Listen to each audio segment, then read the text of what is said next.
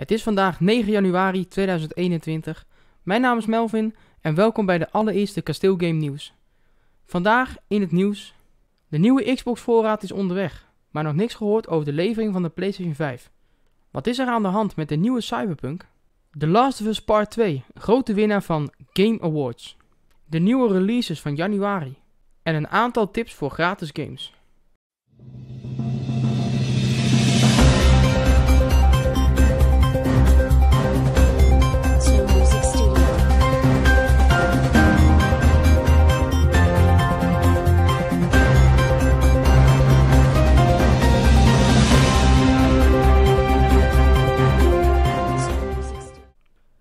Hoewel de nieuwe PlayStation 5 en de Xbox Series X al een tijdje uit zijn, eind vorig jaar, is het een groot probleem om er eentje te bemachtigen. Bij de grote winkels zoals bol.com, Weekamp, Coolblue en Mediamarkt zijn ze al maanden uitverkocht. Alleen de Xbox Series S, dat is de iets minder krachtige Xbox, daar zijn nog een paar exemplaren van verkrijgbaar. Op veel sites wordt er vermeld dat het onduidelijk is wanneer er weer voorraad komt. Mediamarkt laat zelfs weten dat ze 100% zekerheid hebben dat ze deze maand nog een levering krijgen van Xbox. Maar van de PlayStation is nog helemaal niks gehoord. Wel geeft Mediamarkt aan dat er maar een kleine levering is, dus je moet er weer snel bij zijn. De winkels weten niet wanneer de PlayStation 5 weer op voorraad is. Hoewel bol.com regelmatig met Sony overlegt, weten ze nog steeds niet wanneer die binnenkomen. Bol.com zegt dat Sony altijd een week van tevoren aankondigt wanneer er wat wordt verzonden. Verder geeft Mediamarkt aan dat in 2021 het schaars zal blijven met de PlayStation 5. Dus dit betekent dat je wel geluk moet hebben om een exemplaar te bemachtigen. Verder kan PlayStation en Microsoft dus van de Xbox heel weinig kwijt. Ze weten niet wanneer ze nieuwe exemplaren kunnen versturen. De productie van de consoles is beperkter dan de vraag van de consument. Maar dat was inmiddels al bekend natuurlijk. Dus wil je een Xbox X bemachtigen? Binnenkort? Zoals Mediamarkt zegt, deze maandag komen er een aantal exemplaren beschikbaar. Dus wees er snel bij en hou alles goed in de gaten. Mensen die voor een PlayStation 5 willen, zoals ik, moeten gewoon de social media goed in de gaten houden. Wat het grootste spel van het jaar zou worden, is helaas niet gelukt. Cyberpunk is niet geworden wat ze hadden verwacht. De game op zich wel, maar er zitten te veel foutjes in de game.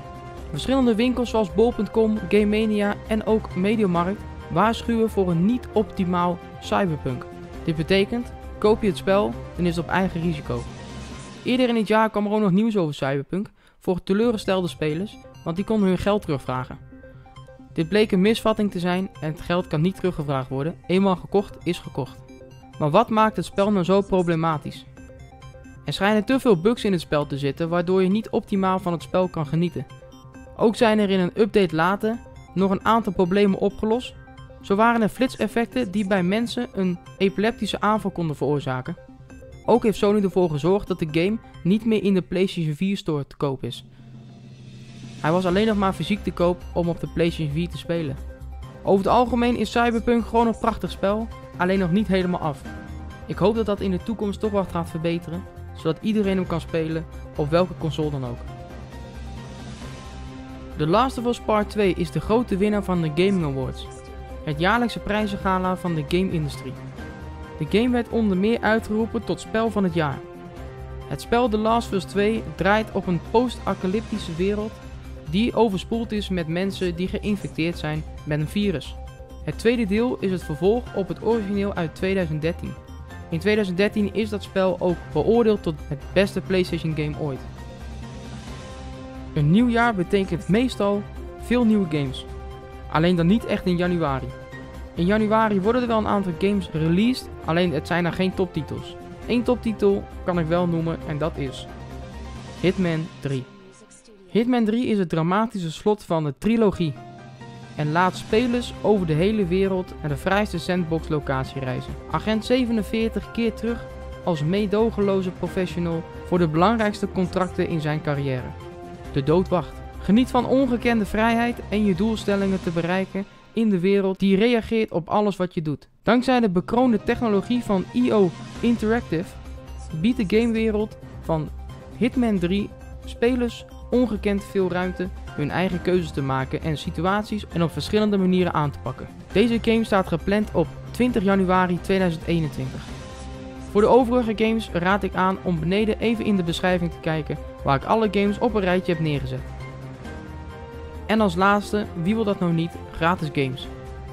Mocht je PlayStation Plus hebben, gratis games voor deze maand zijn Shadow of the Tomb Raider, Greedfall en voor de PlayStation 5 als bonusgame Man Eater.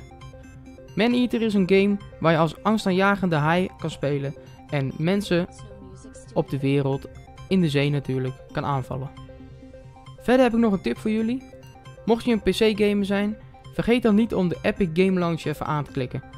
Bij Epic Games geven ze namelijk elke week gratis een game weg. Vorige keer was dat Jurassic World Evolution en deze week is dat Crying Suns. Vanaf 14 januari tot 21 januari is Star Wars Battlefront 2 Celebration Edition gratis te downloaden via Epic Games. Dit was het einde van het nieuws. Ik hoop dat je het een leuke video vond. Het is een korte video, maar toch wel met veel informatie. Dit ga ik elke maand doen, altijd eerste week van de maand, zodat iedereen weet wat er aankomt en wat er is gebeurd. Mocht je dit een leuke video vinden, klik even de duimpje omhoog. Vergeet niet te abonneren. En dan zie ik jullie gewoon in de volgende video. Groetjes!